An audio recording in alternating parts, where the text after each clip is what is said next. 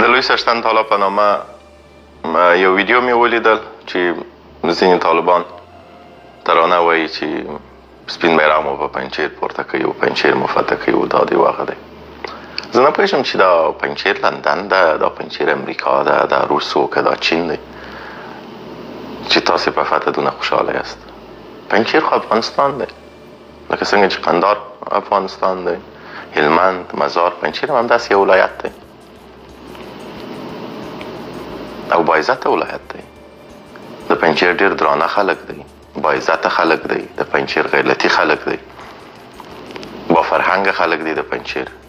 مهمان نوازه خلک دی د پنجشیر او تر ټولو مهم د پنجشیریانو او د قنداریانو ډیر ښه انډیوالي سره دی دا چې یو څو غلو او جاسوسانو د پنجشیر په نوم د شل کاله فساد وکړي چوري وکړي چپاول وکړي دا خو پنجشیر استازی نه دی دا خو پنجشیر دشمنان دی د پنچیریانو په ژوند کې هیڅ تغییر نه دی راغلی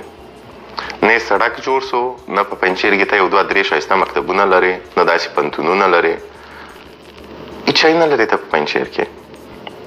خلک اوس هم خپل ډوډۍ ته حیران دي په پنچیر کې ولې د پنچیر سره دونه عقده لرئ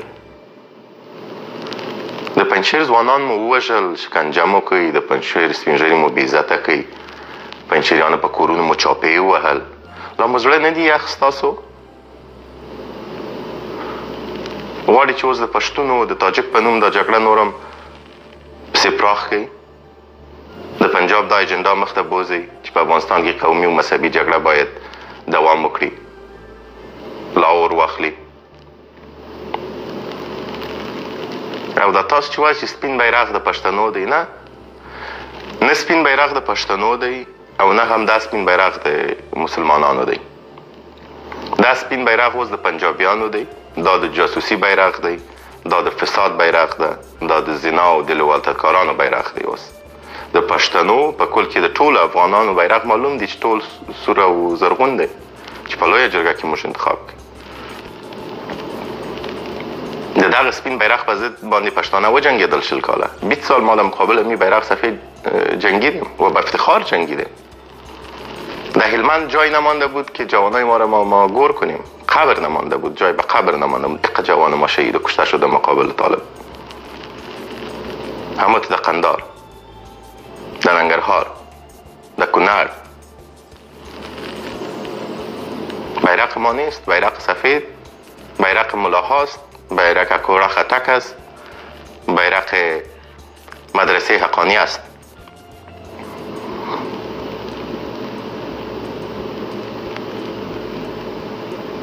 تاسو منافقین یاست که واقعا دونه د اسلام او د مسلمان قدر در سره وای یو وارې په یو نیم کال کې مو خو په چین کې د مسلمانانو پوښتنه کړې وای چې په کمپو کې پراته دی ګردې ځینې باسي بدن یې تکه تکه کړي زړه ځینې وباسي ژړې ته نه پرېږدي پر ښځو په زوره تېری کېږي اوس تاسو مشران هیڅ نه وایي چین چینایانو ته چې دا مسلمانانو ولې دا حالت ونیسي ژغ پورته کړي اسلام خو سرحد نه لري نو چې سرحد نه لري وایي د چین په مقابل کې ژغ نسی پورته کولی یا که تاسو جاسوسان نه یاست د امریکې جاسوسان دا ما په وار وار ویلي دا بیا یې وایم طالبان د امریکې جاسوسان دي ملګري دي دوی منافقت کوي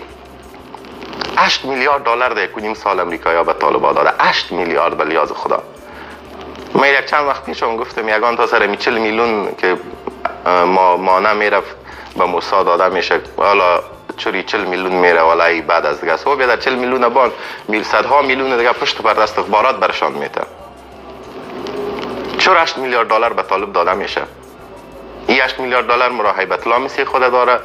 سراج الدین حقانی مسیح خو داره دگیش هم مسیح خو داره دگیش هم مسیح خو داره مردم از گشنگی میمره اولاد خود میفروشند به اولاد خود تریاک میتن که شو خو ببره چون نانش نداره ولی ملای هیبت الله و دوستانش 8 میلیارد دلار از امریکا یا گرفته و یگان سیاسون افغان ما حالا میبینم ای حقوق زن است ای حقوق مرد است ای سیاست مدار است ای جورنالست است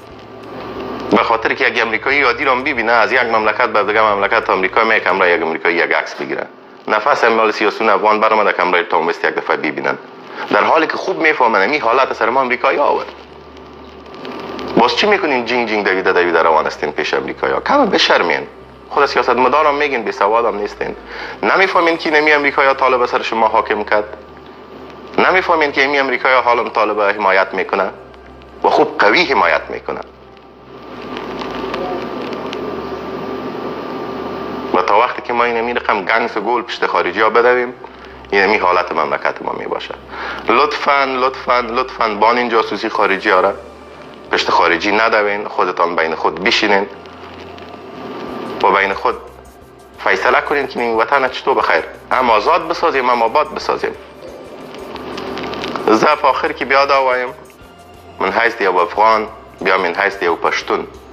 پنجشیر زموږ زړه دی پنجشیر د افغانستان عزت دی وقار ده پنجشیریان زموږ ورونه دی ما په پنجشیر کې د پنجشیریانو په کور کې شپې ورځې تیرې کړې دي هلته مو د دوی ډوډۍ خوړلې ده او موږ پښتانه نمک حرامه نه یو